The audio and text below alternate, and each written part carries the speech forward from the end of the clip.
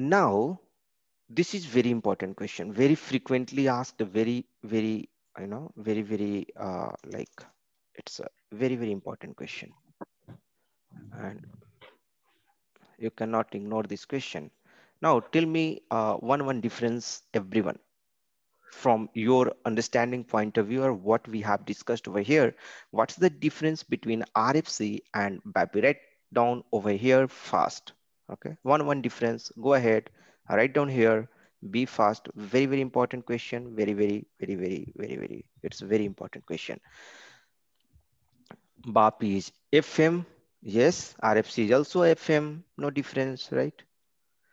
Yes, yeah, Satya is telling every BAPI is RFC very good, but every RFC is not a BAPI. Very important difference. If you tell this first difference, you know, your confidence will be increased. Your interviewer will be also happy. Yes. All the RFC, no, no, Prakash, we don't have to tell like this. We have to tell every BAPI is RFC, but all the RFC is not BAPI. Okay, tell like this. This is one difference. Very good. Any other difference? Okay, Satya is telling BAPI does not require middleware. Okay. We would require Java connector. Suppose if we're going to uh, connect with the Java or .NET, so directly with the help of JCO or from .NET, I don't know, but from Java, I have heard, I have not, uh, you know, integrated anywhere. But uh, this is true. BAPI does not require any kind of middleware. However, through middleware also we can call, like you can integrate with PI, okay? Like PI or XI system, BAPI can be integrated with PI or XI system, but it is not mandatory. So this is also one good point. RFC also it is not necessary that you know you must have to involve that particular PI or XI. Without PI or XI also we can call the RFC. So here I think this is not the significant difference. Okay. So RFC and BAPI both can be called from the different system without using the PI. The main difference, the main difference just to go here, BAPI RFC FM plus registered in BOR okay that's fine. Good yes. Good very good. Bapi needs to be registered. Yes rfc need to be registered in order to become the bapi.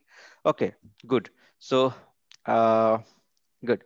So now let's go ahead and try to understand the difference. So the very first difference the satya told that all the rfc cannot be a bapi but all the bapi must be a RFC. The first significant difference. The second very important difference, RFC is a procedural concept, you know, RFC is a procedural programming concept. On the other hand, this BAPI is the OOPS oriented concept, object oriented concept. Remember this second point, very, very important point, the second one, okay? Third point, BAPI, you know, uh, uh, give me some time. I'm trying to remember and just take forward. So BAPI, you know, here I have written, let's go here. Mm, what I was trying to tell that. Yeah, so that BAPI is the object oriented concept, right? That is very important. And RFC is the procedural concept, right? RFC is the procedural concept. This, this point is very important. Another, another point I was talking about this one, this, this, the, you know, this point, this very important point. BAPI, BAPI, you know, suppose if you have a purchase order create, you know, uh, uh, BAPI underscore PO underscore create one, right? Or BAPI underscore materials uh, save data or BAPI underscore material save replica, whichever BAPI you take. All the BAPI represents a complete business functionality unit. Suppose if you have to create a material, number, right? So one BAPI will be dedicated for that particular business unit. But in RFC, you know, or in the function module, if you talk about, every time you will not get like this. But BAPI generally stands for the business unit. Okay, one one single BAPI represents the unit of business functionality.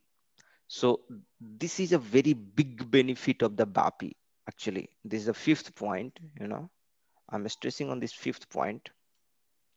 This is a very big benefit. You know, if you want to do any kind of operation, whether it's a create, change, or update, any kind of operation, then if you are able to find, and for most of the things, like for most of the standard operation, uh, whether it is a purchase order related or sales order related, or for, you know, any kind of material related operations are there. For each operation, you have the BAPI available. You can directly go and use the BAPI. So that's the, and you don't have to take care of the you know screens validations internal functionality. So that is a very big benefit. So you don't have to go to you know call transaction mm01 you don't have to write the bdc code for creating the material right? The efficient efficient way so my question to you suppose if you have one option to create the bdc transaction and create the material this is one option you have. And if you have one another option to use the BAPI and create the material, which option you would prefer as a ABAP developer? Right here in the chat box, your answer. You have two options. One using BAPI, another using BDC. This is also one very important interview question.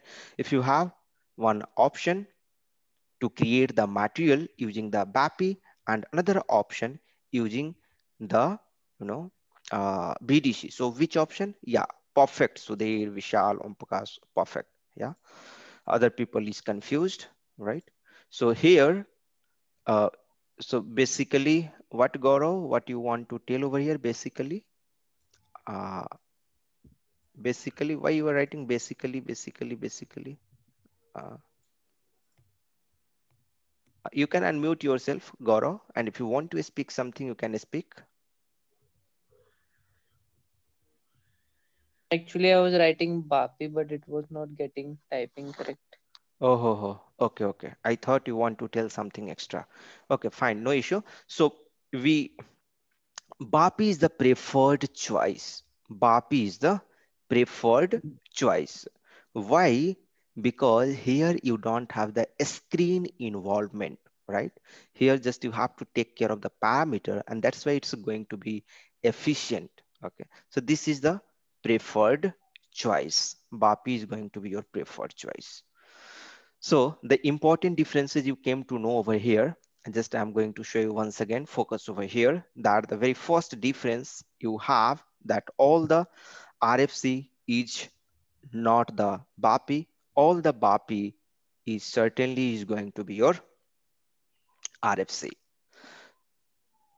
RFC plus some extra rules will create your BAPI. For example, you must have to pass as a type a structure when we are creating the import parameter and export parameter or change parameter, any kind of parameter when we are creating while declaring the parameter type we have to give as a, a structure, right?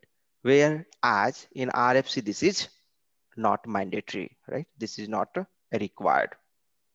Another point, RFC must be registered with a business object in order to be, in order to become the BAPI.